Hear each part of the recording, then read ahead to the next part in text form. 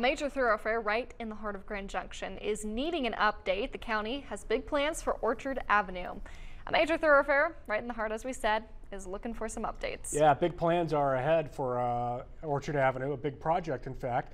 We're joined by Adam Woodbury right now, who's got a little bit more on what we can expect. Uh, good evening, Bernie and Hannah. So, I mean, well, we were supposed to have a map up here, but yeah, the area that we were talking about is Orchard Avenue, as we said, between 29 and a half Road and Warrior Way. Now, if you've been out there, now you have no doubt noticed that there's not a lot of sidewalk and not many streetlights either.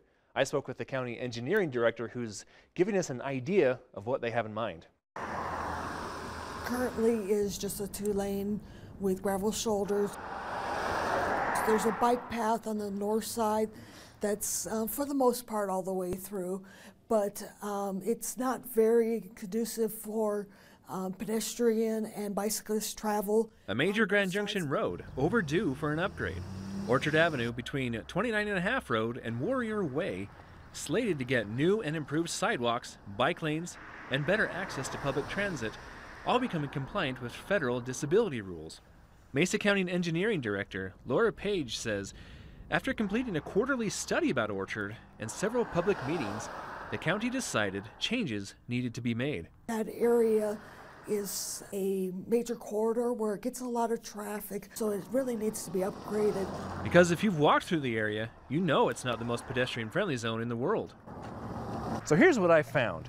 On Orchard Avenue, between 30 Road and Warrior Way, there really isn't much sidewalk to speak of. Now there is some, yes, but it's usually on the north side of Orchard. Now if you're on the south side, well, you're kind of out of luck. I just measured between this white line and the shoulder where it cuts off is about nine inches. Other than that, you're just in the dirt. And on days like today, where we still have plenty of snow out there, it's going to make for a, a sloppy mess. However, there are some stretches of road without any sidewalk on either side. And then there's the matter of streetlights. Between 29 and a half Road and Warrior Way, I counted 15, eight of which were at the 29 and a half and 30 Road intersections. So essentially, that's just seven streetlights for the one and a three quarter mile stretch of Orchard Avenue. But that might not change. The county doesn't um, really own or maintain any streetlights.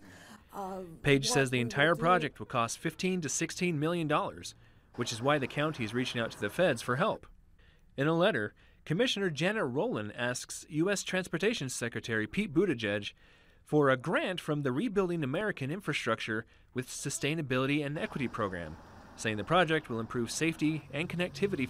The hope is to get the $13 million in grant money and if it is accepted, the county can get the ball rolling.